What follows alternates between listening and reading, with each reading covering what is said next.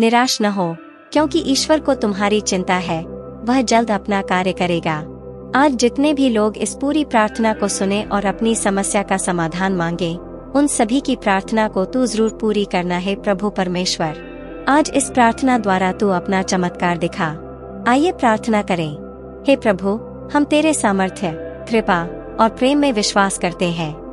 जब जीवन की अज्ञात राहों में हम निराश होते हैं तू हमें दिशा और साहस की शक्ति प्रदान करता है। हम तेरी दया की प्रतीक्षा करते हैं, जिसे हम अपने कार्यों के माध्यम से अद्वितीयता और आदर्शता में अभिव्यक्त कर सकते हैं। हे पिता परमेश्वर, हम बहुत निराश और दुखी हैं। हमें तेरी आवश्यकता है। तू बड़ा ही सामर्थ्य और दयालु पिता है। हम तेरे नाम की तारीफ़ और धन्यवाद करते हैं। तू सर्वशक्तिमान परमेश्वर है। राजाओं का राजा और प्रभुओं का प्रभु है। तू हमें हमारे सारे पापों और गुनाहों के लिए क्षमा कर। हमारे जो भी रुके हुए काम हैं, वो पूरे हो जाए और जो कामों में अड़ंगे आ रहे हैं वो भी दूर हो जाए। जितने भी रुके हुए कार्य हैं वो प्रभु यीशु के नाम से सफल हो जाए और सारे बंधन दूर हो जाए। हमारे दुश्मनों के दिल साफ़ हो जाए और बैरी हैं उनका मन शांत हो जाए। सारी जलन और नफरत दूर हो जाए सबके बीच एक शांति का माहौल बन जाए। हे ईश्वर तू अपना प्यार उनके कठोर दिलों में भर दे।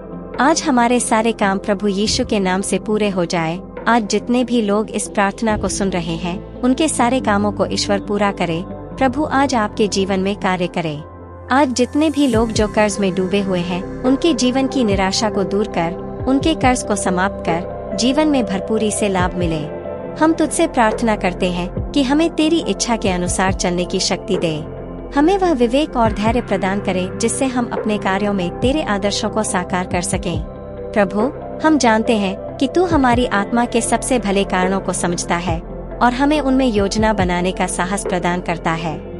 हम तेरे आदर्शों के साथ हमारी सेवा करने की इच्छा करते हैं, ताकि हम इस जगह को प्रेम से भरा हुआ बना सकें। प्रभु, हमें साहस और आत्मविश्वास की आवश्यकता है कि हम तेरी दिशा में चल सकें। और हमारे जीवन को तुझसे मिली आदर्शता में बदल सकें। हमें वह स्नेह और समर्थन प्रदान कर, जो हमें सभी कार्यों में सफलता और परिपूर्णता की दिशा में मार्गदर्शन करेगा। आज हम बहुत निराश हैं।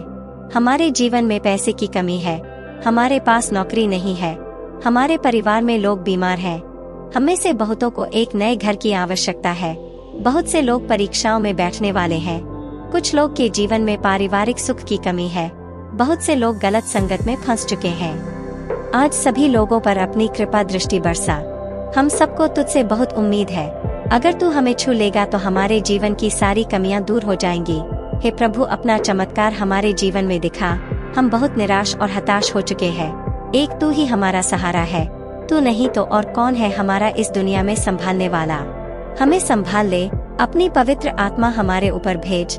प्रभु हम तेरे साथ चलने का संकल्प करते हैं, और हम तुझसे मिले अनंत आशीर्वाद की प्रतीक्षा करते हैं।